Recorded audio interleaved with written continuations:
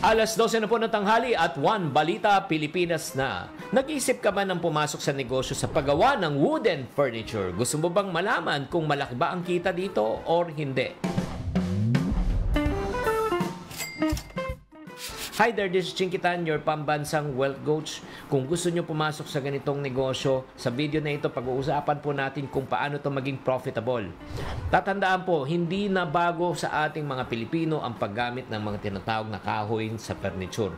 Kahit sa modernong panahon, marami pa rin naghahanap ng tinatawag na classic. Naalala nyo ba may mga wooden furniture na kailangan po dalawa sa tatlong taong bumuhat sa bigat? Lalo na kasi kung maganda po ang pagkaukit po no, sa kahoy or tinatawag na craftsmanship, di ba? Malaki po ang market na naghihintay niyan. Malaki rin po ba ang kita? Ang sagot po ay oo, kung tama po ang diskarte. Kaya nga matanong ko nga kayo sa bahay nyo, kayo ba ay may modern or wooden na furniture? Sa wooden furniture po kasi mataas ang kita kasi mataas ang markup kasi nga handmade po siya. 'di ba? At tatandaan po kung gusto nyo talagang mas maganda ang kita, ay syempre naman magsisimula po tayo sa mga maliliit na items lang. Like upuan, mesa, shelves, 'di ba? Or mga custom made po ng mga furniture para unique po. Kailangan po pag tayo papasok sa negosyo, kailangan po ang focus natin is quality versus quantity. Pag maganda po kasi ang paggagawa, mas mataas po ang presyo no iprodukto. Huwag lang tayo yung natawag na mass production na kahit sino po ay makagawa nun. Pero ang isang challenge lang po pagdating po sa mga wooden furniture po ang source ng kahoy. Siyempre, napakahirap po ngayon maghanap ng mga tinatawag na magagandang kahoy or tinatawag na reclaimed wood. Malaki rin po ang gastos, siyempre, kung iba't po ang gagawa, yung labor, matagal po yung proseso. Kaya nga napakalaga, simulan na muna natin sa kung anong kaya po natin, yung mga basic tools like wood crafting or if not naman may paete kayo, 'di ba? Unting-unti na lang mag-upgrade pag lumalaki na po ang kita. At syempre naman para naman maging profitable ang ating wood furniture business, eh gamitin po na naman natin ang power ng social media. Pwede natin gamitin ang Facebook, Instagram, Pinterest para i-showcase po natin ang ating mga produkto. Pwede rin tayo gumawa ng mga tinatawag na mga website at para ma-showcase din po at lalo na malay mo may mga tao na interesado hindi lang sa Pilipinas kundi sa ibang bansa. At kapag na-establish niyo na po ang inyong credibility at yung brand ay naku maniwala kayo. Tuloy-tuloy po ang pag-order ng inyong mga suki. Kaya kahit anumang negosyo, napapasukin nyo, tamang diskarte, quality craftsmanship at maayos na delivery sa inyong mga kliyente. Wood furniture business is another business that you can consider. Sana nakatulong tong episode na ito. Tatandaan, tamang karunungan, tamang disiplina po ang susi sa pagyaman.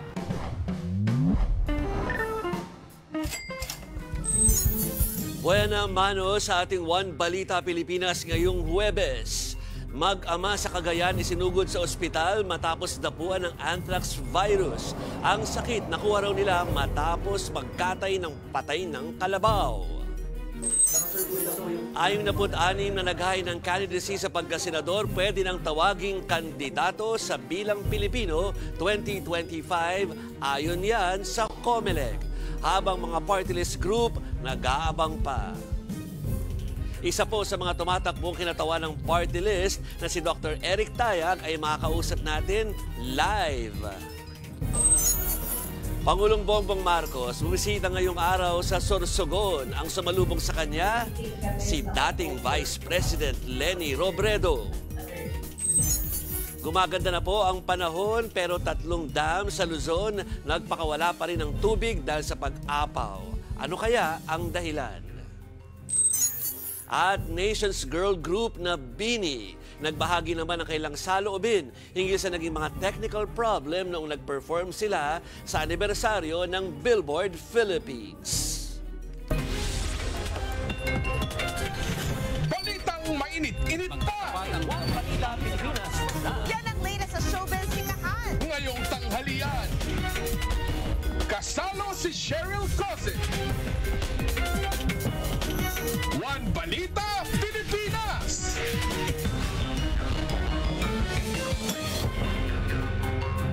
Isinugod sa ospital ang mag-ama sa Santo Niño, Cagayan matapos umanong madali ng sakit na anthrax.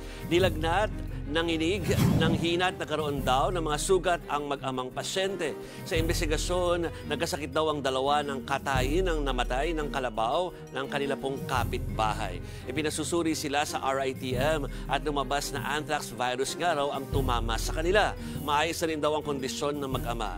Kalimitan pong nakikita ang anthrax virus sa mga hayop pero naipapasa sa tao kapag na-expose po sa sugat. Ang masaklap na ibenta nila ang double dead na karne sa mahigit isang daang residente sa kanila pong lugar at sa ngayon ay puspusan po ang isinasagawang monitoring ng mga otoridad para mahanap ang mga nakabili sa kontaminadong karne.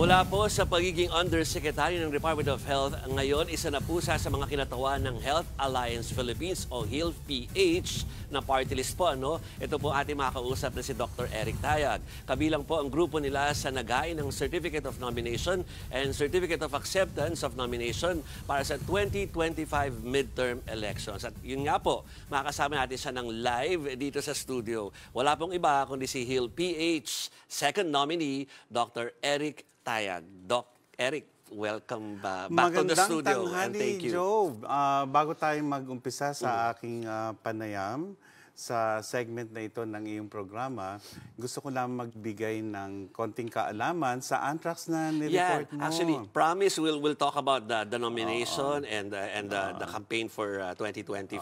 Pero unahin natin yung kakabalita ko lang ano. I think sanay ang mga tao na kayo nang bibigay ng guidance tungkol dyan eh. Sa binasa ko, there are uh, a community, merong community na bumili nung meat na yon ano. So ano yung advisory or Ah, kaya ay pwedeng unang-una, sabihin? ah, hindi ito sanhi ng virus, Okay, go. bacteria. Bacteria. Mm-hmm. Bacillus anthracis yan.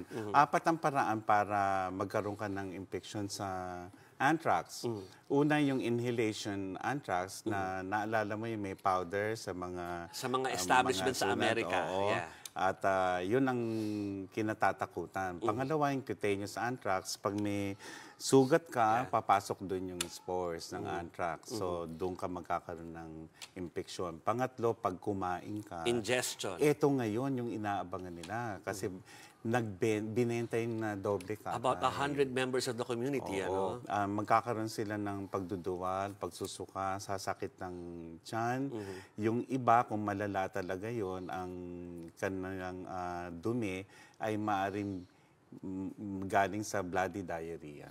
Okay. So, uh, nasa community, alam ko monitor na, di ba? Sila ng uh, DOA, so ng RITM, uh, sa pagkakaintindi ko doon sa report kanina. Uh, pero bilang sila ay member ng komunidad at nasa, nasa loob sila ng bahay nila, ano ba ang mga dapat abangan ng mga ito? Na, na parang dapat kumonsulta na sila at this time, ano? Alam mo, ah, kulang sa kaalaman ng marami nating kababayan, hindi lamang sa mga sakit katulad ng anthrax, sa mga nauusong sakit halimbawa, sapagkat ah, pag nahuli ka sa impormasyong dapat mong makuha at mali yung impormasyon, Yes. magdadalawang isip ka kung ikaw ay magpapatingin nga. At ah, sino manghihinala na ikaw ay kumatay lamang ng ah, infected ah, cattle o sa report mo at ngayon eh magkakasakit ka tapos nagkamali ka pa ng desisyon na kung saan naibenta mo pa yung contaminated meat. So kailangan talaga ang tamang impormasyon. Tamang impormasyon, pero i, i- ano, pag-usapan na natin yung Doc Eric, yung tungkol sa double dead. Parang dati pa natin alam na, na hindi dapat eh, no? Pero ganun ang nangyari at ibinenta pa, no? So ano ba yung Isang pwedeng dahilan guidance? dyan, ah, Joe, sapagkat ah, nag, nangihinayang sila. Kaya nga, ah, kesa yan ay ilibing na nila, may mga panuntunan naman ang Bureau of Animal Industry. Bawal na bawal po yan. Kaya nga kailangan ng inspection sa mga palengke para sa ganon ay hindi malagay sa panganib ang mga mamimili. Okay, so yan po ano, ah, hopefully ay ah, kayo po ay dumulog na sa inyong mga center, lalo yung, ah, yung komunidad na affected nito. So mag-move on po kami ano, and we'll, we'll give you updates on that ah, issue sa iba pa, pa namin mga newscast dahil uh, nagmo-monitor na yung mga teams natin dyan. Ano. Pero puntahan na natin ang 2025. Ano. Doc Eric, ang alam ko eh, at alam natin sa circle natin na ikaw eh, kakaretiro lang, ano, at ah, ah, papaano ba nangyari itong uh, ikay napakumbinse na sumali dito sa Hill PH? Dahil alam ko, you're resting na, no, at uh, ine-enjoy nyo na yung retirement. Ah, alam mo, Jove, ang inyong lingkod ay nagretiro lamang nung Abril. Yes. Ako ay anim na ah, anim na put anim na gulang na, na-extend tayo at ah, nang umalis tayo sa Department of Health, ako ay na-promote naman as Undersecretary sa Public Health Services Team. Ngayon yung tanong mo, paano akong na-convince? Mahirap, bigla na akong tumanggap kasi ng tawag, lalo na ng ang hindi ko mahindian, ang first nominee ng Health ah, ah, Alliance PH o HEAL at uh, sabi, kinukumbinsi niya ako pero ang sabi ko nga, sasangguni ko pa sa mga kapatid ko, Sa anak. sa nanay ko. At ah, talagang ayaw nila. So ako naman, dahil nagsisimba, ah, linggo, madaling araw yan, ay humingi ako ng sign kay Sacred Heart. At ah, naituring ko naman sign ang nangyari sa simbahan. Kaya nung lunes, nung, nung isang linggo, ay kasama na ako ni Dr. John D. Flavier, ang first nominee ng aming party list.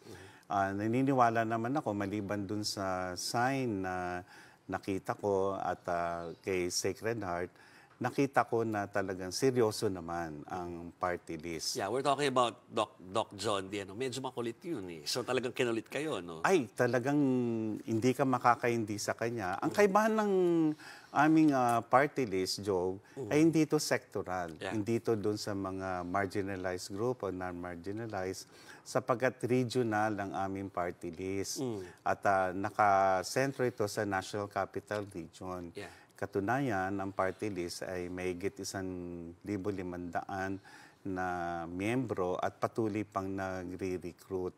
Sapagkat ah, nagkaisa kami na ah, tugunan ang mga lubang pangangailangan sa kalusugan. Masasabing parang sektoral, pero ito ang kalusugan ay talagang isinusulong din ang ang ating mga komportableng buhay sa hinaharap. So hindi lamang to kalusugan sapagkat bawat aspeto ng ating buhay, kalakal man, negosyo, o kaya pakikiisa sa iba nating kababayan, nag-uumpisa lahat yan sa antas ng ating kalusugan. That's true. So, before natin puntahan yung mga issues tungkol sa kalusugan pa, no, at saka iba pang national issues, uh, Doc Eric, eh, puntahan na natin yon At least dalawa dun sa, uh, at least ipupush ninyo, ano, na, na mga legislatura, kung sakasakalit pala rin nga itong uh, health PH na makapasok doon. Ah, Unang-una, sa aming pagbabalangka sa mga naipasa ng batas,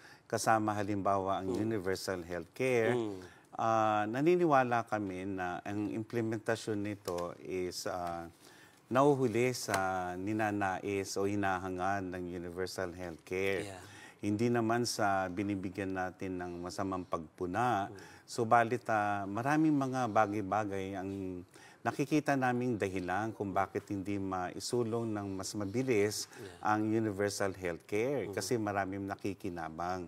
Katunayan, nabalitaan namin na ia-amenda ito at ah, sana makasama tayo na kung papalarin para na sa ganun ay matingnan natin. Kami naniniwala kasi, Joe, while policy is implementation, implementation is policy. So, doon tayo nagkukulang eh. Marami na tayong batas. So, kung tatanungin mo kami kung ano yung mga batas, kung sakaling papalarin tayo, yan naman ay napag-aaralan sapagkat meron tayong mga batas. Ano ba yung kulang? Ito ba ay dapat amend. na isulong? Hindi ito basta parang sumali kami na may susulong na kami na itinakdang batas. Ito ay pakikiramdaman namin sapagkat ang boses ng mamayan ay importante sa gagawin naming pagsulong sa anuman yung aming advokasya, Joe. Okay, so that's clear kung ano yung magiging focus just in case kayo pala rin, na Doc Eric. So punta tayo sa, sa merong maita issue tungkol sa ano eh, PhilHealth eh. Ah, dahil ah, meron ng dumulog sa Korte Suprema kahapon ano, parang nga pigilin yung pag-transfer ng, ng pondo. Ano opinion nung inyong samahan dyan? Ang mga kilalang personalidad ay talagang na sumus- kulang na lang sumugod sa Supreme Court para baliwalain ang desisyon ng ating ah, pamalaan para wag nang ilipat sa National ah, Treasury. Ang ang dalawang grupo ay may kanya-kanyang opinion tungkol dito. Ah, kaya nga ah, nirerespeto ko 'yon at ah, sana ang Supreme Court ay magbigay na ng desisyon. Kung titingnan natin, ah, halos 90 billion pesos 'yon. Naintindihan ko kung bakit marami ang nanghihinayang dito. Lalo na ang PhilHealth ay inaasahan na ah, makakapag-ambag para yung out-of-pocket expense ng mga kababayan natin ay mabawasan. Subalit, malalim ang pinanggagalingan nito, Job, kung mamarapati Yes. mo. Ah, bago pa pumunta sa ospital at mabigyan ng benepisyo ang isang Pilipino na nag-aangat ng magandang serbisyo, may una siyang gagawin. Ang desisyon niya na siya ay magpapatingin. Yes. Pangalawa, kung nagdesisyon siya na magpapatingin na siya, ang kanya naman problemahin eh, saan ako pupunta? At kung napuntahan niya naman yon, paano masisiguro na siya ay mabibigyan ng serbisyong dekalidad? Na, yeah. So, kung titingnan mo, sanga-sanga po iyan. At yan ay hindi lamang malulutas dahil may ah, dapat na isole o dapat na gamitin ang budget ng PhilHealth. Nag-uumpisa po yan doon sa pinaka-basic.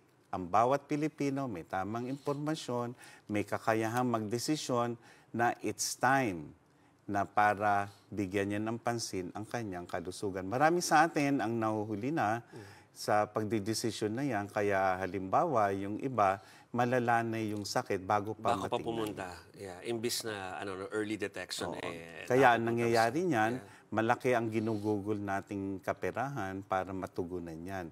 Eh kung doon sa prevention ay magagawa na natin ng paraan.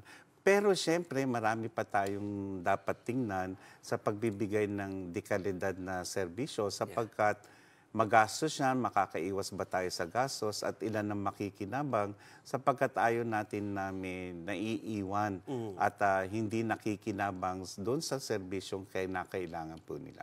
Okay, so isang ano lang isang ah, importante pang tanong tungkol doon sa irerepresenta nyo if ever kayo pala rin, ay yung mga healthcare workers, hindi ba? So sabi nila ah, maraming issue doon eh like yung bago sila mag-retire, ah, baka baka hindi sapat yung makuha nila na na benepisyo tapos yung ah, healthcare ah, na pagbibigay ng ano no pagpansin sa kailang ah, health mismo kahit health workers sila issue din yon so ah, parang ano ba ang inyong uh, ipupush pa tungkol dyan? Ah, alam mo, sa nakikita natin doon sa mga ah, mga health workers ho natin na nasa public sector, Public sector. sila ay umaasa dito sa salary standardization. Subalit ah, marami pa silang hinihingil, hin- ah, hinihiling at ah, nakikinig naman yung mambabatas at isa na kami doon sa makikinig sila sa kanila at kami ang magiging boses kung kinakailangan.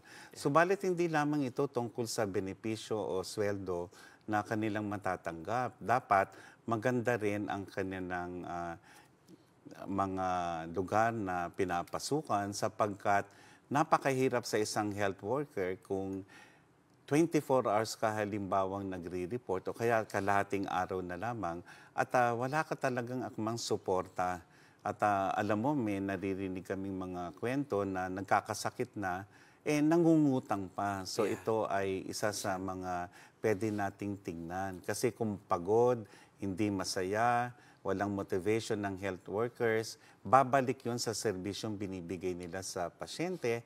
At ah, syempre, lahat po ay talo pag ganito po ang sitwasyon. Yan, okay. Ah, yan ang ating titignan, no, Doc Eric. Pero before tayo magtapos sa ating interview, ano, sorry, medyo mabilis, pero Alam namin si Doc John Di kung ano yung gagawin niya sa kampanya. Yung mga ah, mga jokes ito na para talagang manang-mana sa kanyang dating isa sa kanyang ama no na na si dating ah, DOH ah, Secretary Flavier. Ah, kayo eh known sa inyong pagsasayaw. So sa kampanya ba eh makikita namin ang huling pagsayaw ni Doc Eric Tayag? Alam mo, nang nasa Manila Hotel kami para sa aming ah, pagsabit ng CONA, yung Certificate of Nomination and Acceptance, tinaas namin yung aming mga kamay at sumigaw ng Hill, PH, let's do it! Yeah. So, syempre, brand yan ni Flavier. Yes. At ang kasama ko si Dr. John T. Flavier, ang first nominee. At syempre, sabi niya sa akin, Eric, expect na sasayaw ka. Kaya, naganda na rin ako. So, ah, bagamat iniisip ko na may relevance pa ba yon pero dahil nakilala tayo doon, ba't naman hindi? Halos naman lahat ng kandidato ay sumasayaw.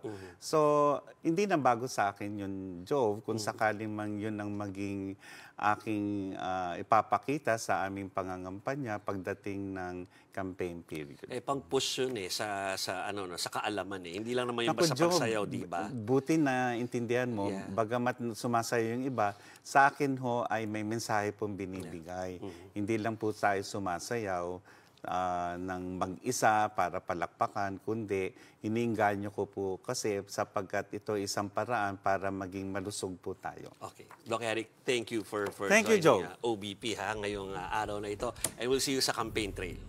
Maraming maraming salamat po, Dr. Eric Tayad, ang second nominee ng Hill PH Party List Group. Susunod, dalawang lalaki patay po sa magkiwalay na insidente ng pamamaril sa Karkar, Cebu.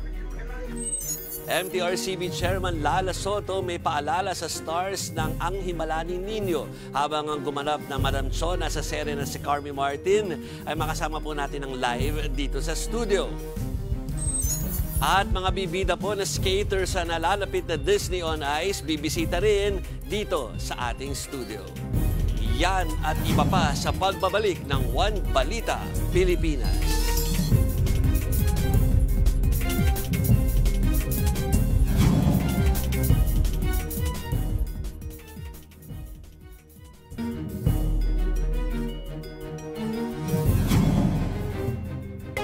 Muli pong nag-cruise ang landas ni na Pangulong Bongbong Marcos at dating Vice President Lenny Robredo.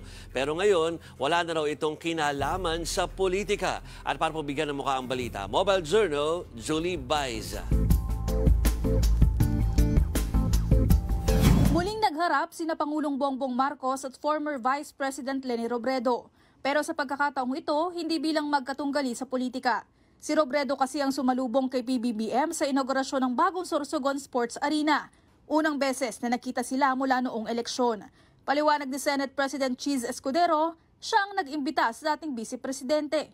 Invite namin um, si VP Lenny para maging bahagi ng kasanggihan festivities at gayon din samahan ako para salubungin bilang uh, Bicolana dito sa Bicol Region si Pangulong um, Marcos sa kanyang pagbisita dito sa lalawigan ng Sorsogon. Sabi ni Attorney Barry Gutierrez, tagapagsalita ni Robredo, ibinabalik lamang ng dating pangalawang pangulo ang suporta kay Escudero na nagsisilbing host ng event. Sumusuporta raw kasi si Escudero sa Naga. Kasamang sumalubong ni Robredo kay PBBM sa Bicol si dating Senador Bam Aquino. Sa kanya namang talumpati, binigyang halaga ng Pangulo ang pinasinayaang stadium para sa pagsasanay ng mga atleta.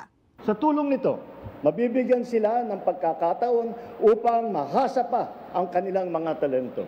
Harinawa ay may dagdag pa natin sila sa hanay ng ating Olympian at atletang Pinoy. Malaki raw ang maitutulong nito para dumami ang mga kabataan at kababayang nagbibigay ng parangal sa bansa. Bukod sa sports, magagamit din ang arena sa konsyerto at iba pang pagtitipon. May kapasidad kasi ito ng higit 15,000. Kaya hirin natin may kakailang simbolo ng progreso ang Sorsogon Sports Arena. Sumasa ilalim ito sa patuloy na pagsisikap, pagtsatsaga at pag-unlad ng mga Sorsogano, Sorsoganon at mga Bicolano. Tinapos naman ng Pangulo ang talumpati sa paghiling sa mga Bicolano ng tulong at pagkakaisa sa pag-unlad ng bansa. Mobile Journal Julie Baiza po, hatid ang mukha ng balita. Hindi maulan pero tatlong dam sa Luzon ang nagpakawala po ng tubig dahil sa sobra-sobrang reserba. Para po bigyan ng mukha ang balita, Mobile Journal, Francis Orso.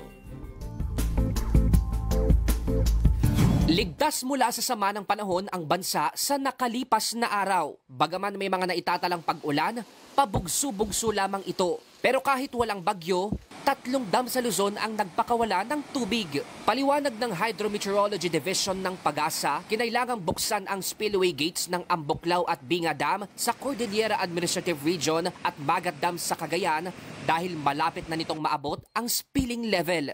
ang system kasi nitong nakaraang araw is easterlies na yun yung nagpaulan sa sa watershed ng Ambuklaw Binga at the same time yung Magat. Nagpakawala sila ng tubig just in case nga na may mga bagyo tayong dumating, kaya nilang masalo. Parehong nasa mahigit isang metro na lang ang pagitan ng Ambuklaw at Binga Dam bago umabot sa normal high level. Dumidiretso at sinasalo ng San Roque Dam sa Pangasinan ang pinakakawalang tubig sa dalawang dam. Kaya binabantayan na rin ang San Roque Dam.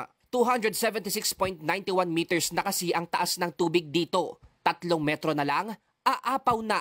Pag nangyari yan, apektado ang mga nasa mabababang lugar sa San Manuel, Pangasinan. Yung San Roque ngayon is tumaas na. Kung sakasakali may bagyo na tatamaan itong San Roque, ito yung posibleng maabot niya yung level niyang 280. Meron mga area na maapektuhan just in case na magbukas ng San Roque. Una nang binuksan ang Ambuklaw at Binga nito ng Setyembre dahil sa epekto rin ng mga nagdaang bagyo. Sa ngayon, pansamantalang isinara muna ang spillway gate ng mga ito habang patuloy na naglalabas ng tubig ang Magat Dam. Pinaghahanda rin ang publiko sa darating na weekend. Wala man kasing nakikitang bagyo sa mga susunod na araw, asahan daw na magpapaulan ang muling manunumbalik na northeasterly surface wind flow. Magiging maulan din po pagsapit ng linggo sa may hilaga at silangang parte po ng Luzon, kabilang na dyan ang Batanes, Cagayan, pababa ng Isabela, Aurora, Quezon and Bicol region dahil sa posibleng pagbabalik po ng northeasterly wind flow and then lumalakas po yung easterlies sa may parting Bicol region and Quezon. Bukod sa maulang weekend sa ilang bahagi ng Luzon, dapat din daw maghanda ang mga nasa Mindanao sa Sabado at Linggo. Magpapatuloy pa rin kasi ang epekto ng Intertropical Convergence Zone, lalo na sa katimugang Mindanao, pati na sa Palawan. Mobile journalist Francis Orso po, hatid ang mukha ng balita.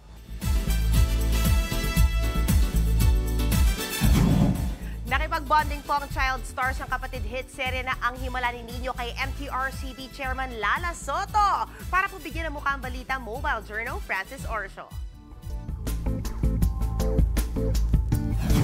Masayang nakipagkulitan ang mga cute at bibong cast ng bagong kapatid serye na Ang Himala ni Nino. Present sa meet and greet sa opisina ng MTRCB, ang child stars na sina Achilles Ador, Kenneth Mendoza, Riley Sofia at ang bidang si Zion Cruz. Nakipagkwentuhan at tawanan si MTRCB Chair Lala Soto sa mga magtotropang chikiting. Pinasalamatan din ni Soto ang cast ng kapatid serye, kanilang mga magulang at production team mula MQuest Ventures. Kinikilala po natin ang palabas na ang himala ni Nino kung saan ipinapakita nito ang positibong paglalarawan ng kabataan at malaking epekto nito sa paghubog ng pananaw at ugali ng mga batang manonood. Hindi naman makapaniwala si Zion na gumaganap bilang batang ninyo na mag-iisang buwan na ang kanilang palabas. Cheese, ang bilis. Babalik po kami sa set mamaya dahil pumunta po kami dito tapos babalik kami doon. Pero ano nga bang bonding nila pag hindi pa nila take sa set? Masaya po sa. Actually nga po eh, kapag wala po kaming ginagawa, naglalaro po kami. Bago matapos ang meet and greet kahapon sa MTRCB, may reminder din si Soto para sa mga chikiting. Kasabay ng pagsisikap na maabot ang mga pangarap bilang artista, ay huwag pababayaan ang inyong pag-aaral. Ika nga ang edukasyon ang siyang susi sa ating kinabukasan. Mapapanood tuwing lunes hanggang biyernes ang Ang Himala ni Nino, 11.15 a.m. bago ang Itbulaga. Mobile journalist Francis Orsio po, hatid ang mukha ng balita. Kaabang-abang nga yung mga ang, ang himala ni Nino, no? yung mga eksena rito na talaga talagang excited na tayo at syempre live na live makakasama nga natin ang isa sa mga poste ng programa. Good Samaritan nga ba siya? Madam Shona! Madam Shona! Miss Yes! Corby, morning! Ay, good good afternoon na ngayon, Ay, good ano? afternoon. My gosh, Mm-mm, oo Kasi kanina pa akong umaga dito Ay, sa TV5. Talagang nilalagari ko na lahat ng mga shows para i-promote ang Himalani ninyo. And actually, nakakatuwa po talaga yung karakter nyo rito, no? Mm. I mean, it gives life lalo doon sa programa. And how is it uh, three weeks in? Nako, ah, ako talaga, everyday kong sinusubaybayan yung show. At natutuwa nga ako, katulad ng sinabi kanina sa MTRCB, na ito ay nagbibigay ng aral para sa mga kabataan na ibalik uli yung mga, alam mo, yung mga po at saka paggalang sa magulang, ang pagdadasal. Nakakatuwa yung show. It's very light. Pero pag dumating si Madam Correct. Shana, Nagulat ako doon. I love it. magugulo ang bukang liwayway. I love it. Pero ano po ba yung ano? Kasi hindi nga natin ma- maintindihan dahil may backstory pa si Madam Shauna. Mm-mm. Kaya ano? Ano pa kayang pwede mong i-share so far without spoiling anything Ah, sa nakaraan niya? de- definitely, ano eh, me- medyo may pagka-jolog si Madam Fiona. Makikita mo pa lang dun sa sa hairstyle niya. So, parang pilit yung yaman. So, siguro yun ang medyo hint na maibibigay ko sa inyo regarding yung backstory ni Madam Fiona. Shona! I love it. And actually dito, no, talagang tuwan-tuwa kami sa pagbisita mo, Miss Carmi, di ba? Kasi syempre, napaka well, well-preserved. I Ay, love it, nako. I Thank must you. say.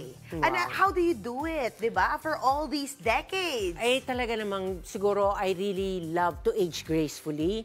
And uh, yung siguro may enhancement. Thank you, Doktora ka, Betsy Kasami. Yes! Pero hindi yung ano, yung Todo-todo. reversible. Oo. Oo, gusto ko pa rin yung, yung talagang pag compare yung mukha ko from dati to ngayon. It's uh, parang aging gracefully. It's still And you. uh, yeah, at the same time, uh, you know, I don't eat rice, I exercise a lot. And um, I really, spiritually, malaki ang tulong sa akin kasi I have inner peace. Wow. I don't eat rice. Ah, yes. Actually, sinabi nyo kay, speaking of inner peace, si kinuwento nyo, kalagi kayo nanonood ng, ano, no, kay DJ Chacha, tsaka kay Manong Ted, yeah, kasi, si, Pastor. si Pastor Jeff ay aking pastor sa Rebuild City Church. bongga. And I am a Sunday school teacher. Ay, totoo ba? I Yes. love it. So, I started at 1997 and then I stopped lang for yung nagkaroon ng pandemic. Oo. Then nag-resume uli ako sa pag-teach sa mga Nakakatuwa bata. yung tidbit na yun about you, Miss Carmi. So, pasok na pasok sa ang Himalari ninyo. Oo, Di yan. ba? Like, teaching values. Yes. Pero, oo. eh, kayo, ano yung pinakagusto nyong theme ng palabas? Well, ako talaga nung um, though pin, binasa ko naman talaga yung ano no, yung script. Pero na na-amaze ako dun sa cinematography at saka yung pagka-direct, yung pagkalatag nung ah, nung casting at saka pagka-direct, no? Pagkagawa ng ano, maganda siya. Actually, nung pinanood ko, parang pelikula. Parang pelikula nga ako, siya akala talaga. ko oo. intro, Tsaka ano ang eh. ganda nung labas nung nasa probinsya talaga Oo, siya. oo, I love it. Bukang liwayway at sana makabisita Mm. kami dyan. Miss Carmi, please invite everyone. Yes, please do watch ah, ang Himalani ninyo every Monday to Friday bago mag-eat bulaga, 11.15. Panoorin po ninyo ito sapagkat talagang masaya pag dumadating si Madam Jana at napakasaya naman and very fulfilling ang buhay ng mga taga Bukhang Liwayway. I love it. Please do watch it. Maraming salamat, Madam Jona! Thank you so much, Miss Carmi Martin. Ito naman mga kapatid, mamaya po sa round 2.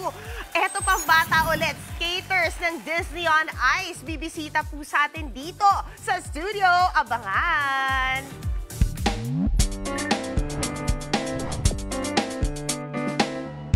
Magandang tanghali mga kapatid. Nagtayo ng panibagong diocese si Pope Francis sa Agusan del Sur na tinawag na Diocese of Prosperidad. Ginawa raw ito ng Santo Papa para sa palapit sa simbahan ng mga tao. Kayo, ano ang ginagawa niyo para mapalapit pa kayo sa Panginoon? Sasamahan niyo ako at magtatanong tayo dito. Ah, sa pagsisimba, tsaka lagi mo lang din siyang iisipin. Lagi mo nasa puso kasi siya ang gumagabay din sa atin sa araw-araw. Okay. Ah, siyempre sir, para para mapalit, mapalapit ka sa Panginoon, magdasal ka araw-araw. pang araw-araw natin, dapat natin sundin yung ano ng ano, ah, Panginoon. Pang umaga, siyempre papasalamat tayo paggising natin sa umaga na nag, nagising pa tayo. Yung mga natutunan natin dati doon sa ating mga klase sa religion, pakikinig sa misa, nagagawa natin sa kapwa-tao natin at nararamdaman natin sa mga kapwa-tao natin na nagbibigay din ng ah, pagpapahalaga sa, sa atin pareho. Araw-araw po eh, ako nagpe-pray, nagdadasal, saka yung buhay ko araw-araw, yun eh, pagpapasalamat sa Panginoon. Ah, magdasal at magsimba, humingi ng papasalamat sa Diyos. Siyempre po nagsisimba, gumawa ng kabutihan sa kapwa, huwag gagawa ng masama para po ang, ang ating Panginoon ay malugod sa atin sa ginagawa nating kabutihan. Yun lang po. Ako ang inyong hani ng bayan, ang tunay at nag-iisang pantanggal umay sa pananghalian.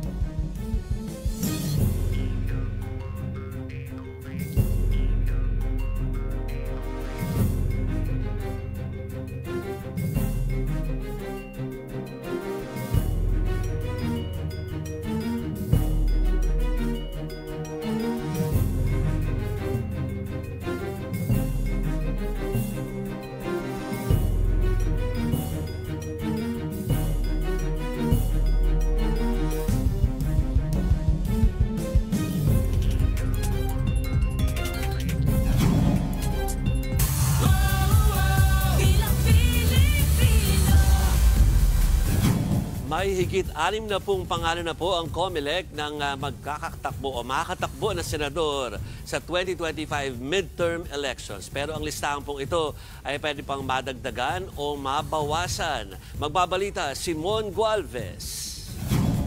Ah, Abalos, Adonis, Amad, Andamo, Aquino, Arambulo, Arellano, Balyon, 66 na pangalan ang inaprubahan ng COMELEC NBank para tumakbo sa 2025 midterm elections. Mula yan sa 183 naghain ng Certificate of Candidacy sa pagkasenador. Kasama sa mga pangalang makakapasok sa balota ang mga re-electionist na nagtrabaho sa gobyerno at mga kilalang personalidad. Kasama rin kahit yung mga hindi pa masyadong matunog na pangalan. Pinagbatayan natin yung kanilang political history, yung kasaysayan. Tumakbo na ba sila before? Sila ba ay na-disqualify na o na-cancel na ang kanilang candidacy dahil sila ay diniklara na rin nuisance? Ito bang mga taong ito kahit paano, maaari hindi kilala, ay may mga supporters. Base sa listahan, anim sa bawat sampu ay miyembro ng mga malalaking political parties o malalaking organisasyon. Apat naman sa bawat sampu ay dati nang nasa politika o mga old-timers maaaring sa Senado, Kongreso, Ehekutibo o LGU. Isa lang sa bawat apat na kandidatong aprobado ay tumatakbong independent. Pero 6 out of 10 lamang sa kanila ang walang koneksyon sa ibang politiko o political parties. Paglilinaw naman ng COMELEC, walang halong diskriminasyon ng pagpili nila sa mga kwalipikadong kandidato. Wala po kami dinisqualify dahil sa kahirapan, dahil sa wala silang pera. Makakatakbo rin nga sa eleksyon ang nakakulong na si Pastor Apollo Kibuloy. Wala pa naman daw kasing hatol sa mga kasong kanyang kinakaharap. Ayon pa sa COMELEC, pwede pa rin mawala ang pangalan ng kandidato kung may maghahain ng cancellation o disqualification case. Pwede po i-file yan 25 days after the date of the filing of the certificates of candidacy. Ang inilabas na 66 na pangalan, pwede pa raw madagdagan mula sa natitirang 117 senatorial aspirants. Paglilinaw ng COMELEC, hindi pa may tuturing sa ngayon na nuisance ang nasa 117 na mga senatorial aspirants. Pero nakatakda ng dinggin sa dalawang dibisyon na ahensya ang mga aplikasyon nito kung saan kailangan nilang mapatunayan na hindi nga sila masasabing nuisance o panggulo lamang. Para hindi matambakan ng mga nuisance candidate, pinag-aaralan na ngayon ng COMELEC na i-criminalize o kasuhan ang mga mapatunayan na nanggugulo lamang sa eleksyon. Ako, Simon Gualvez, para sa 1PH.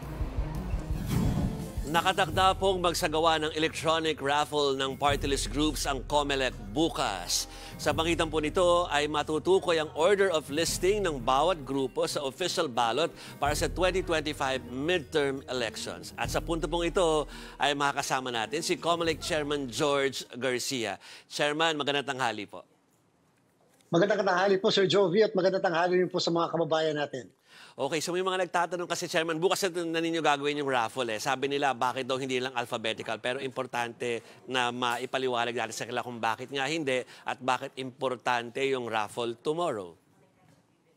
Sir Joey, dati-dati kasi pagka nagpapa-accredit dahil nga sa ina-alphabetical yung pangalan ng mga party list organizations or political parties, abay kanya-kanyang AAAA, kanya-kanyang 1111.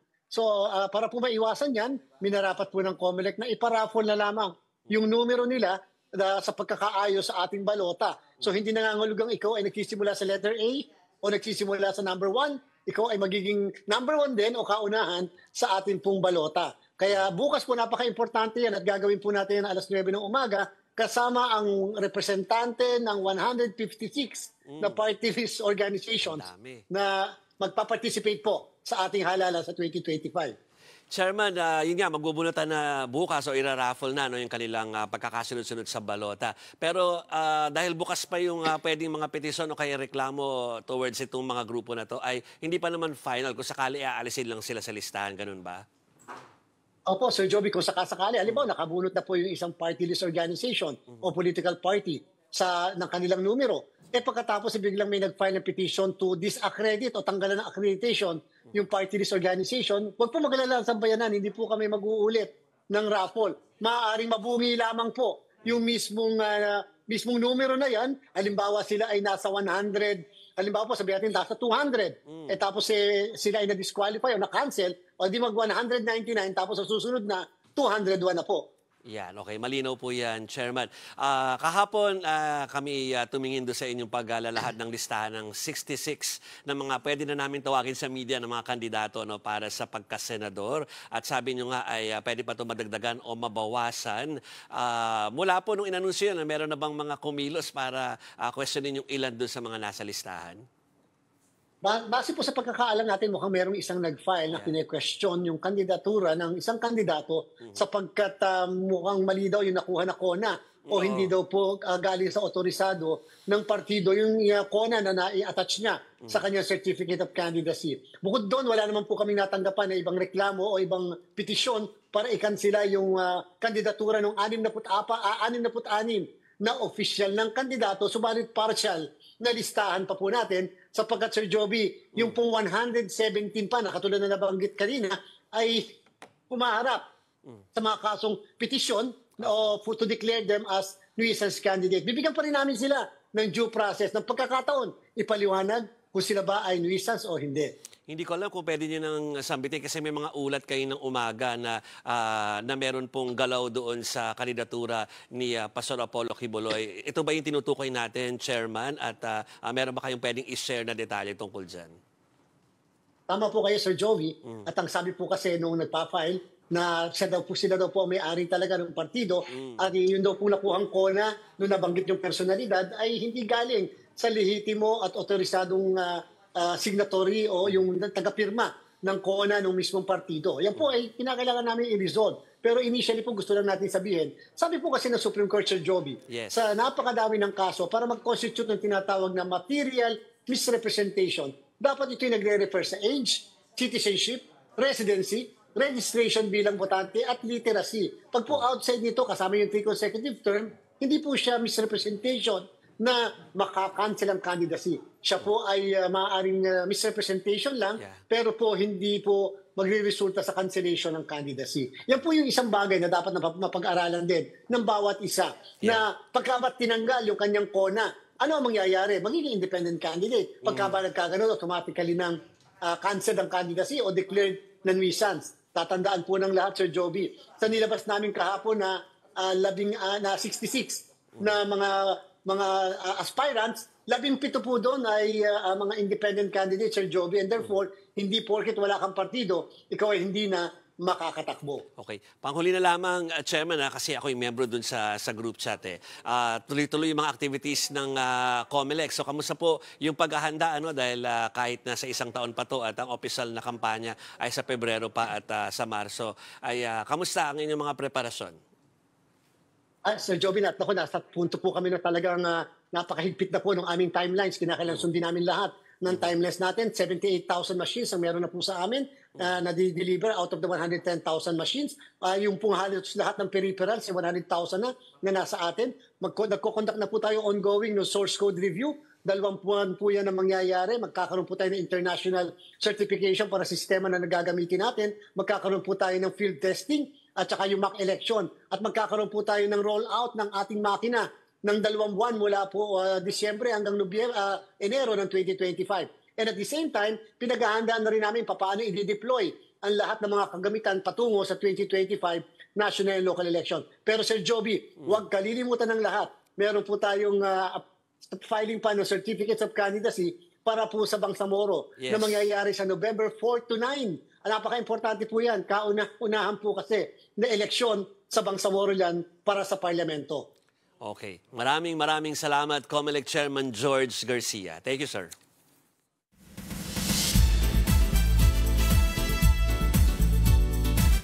Patuloy po yung imbestigasyon sa pagpanaw ni dating One Direction member na si Liam Payne. Base po sa report, nahulog ang singer mula sa ikatlong palapag ng balkonahe ng kanyang hotel room sa Buenos Aires sa Argentina.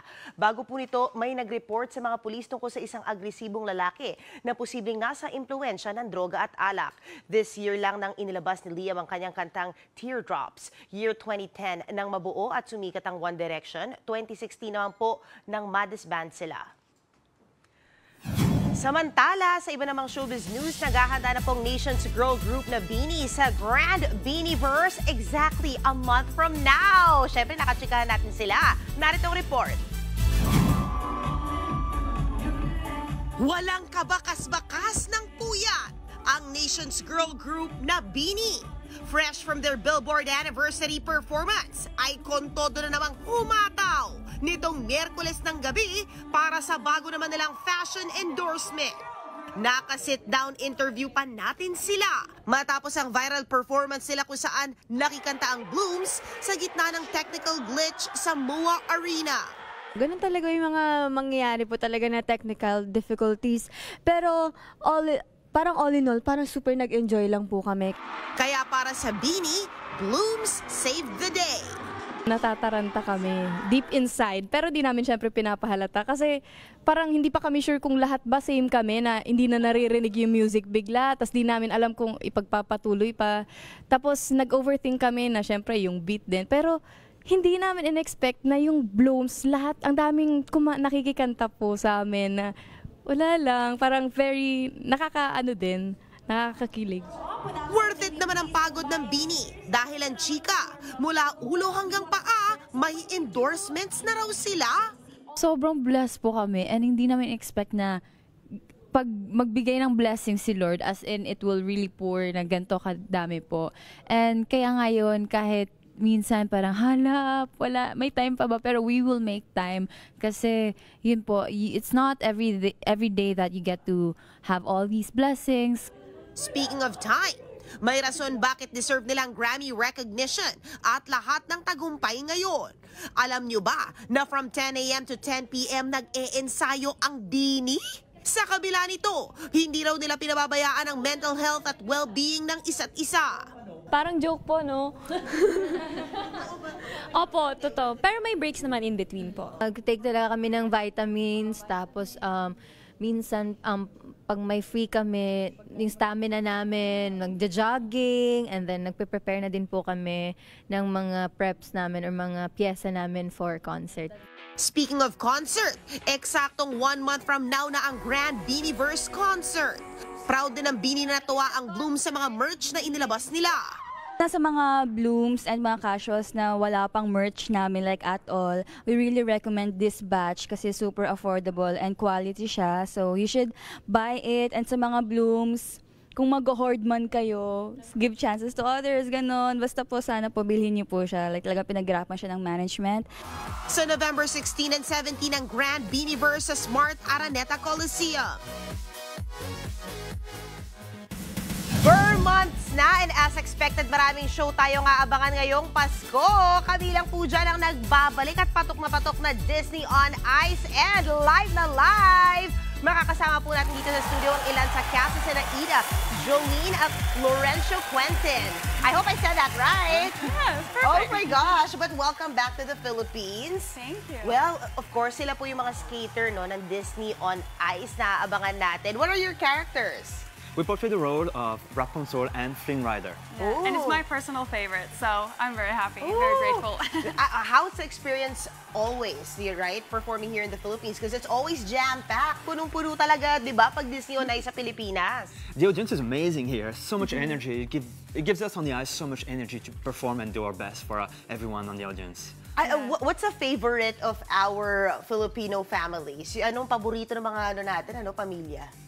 Oh, so we've heard that you're a big fan of Encanto here, Yes! right? Encanto is a and big this year's show is the first year that Encanto family is coming to the Philippines. Oh, everyone yeah. from the family. Exactly. But we also have some more uh, Disney classics, of course, like course. Little Mermaid and Beauty and the Beast, and some more modern tales like Mm-hmm. Moana, Tangled, and of course Frozen. Wow, it's so good to see the generations enjoying from the mother to the child.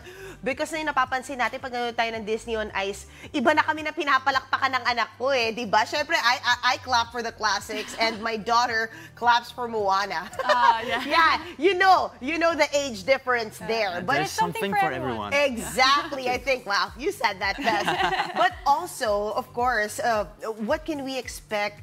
Um, are there anything new? Of course, the Encanto family, as you said, we will be here.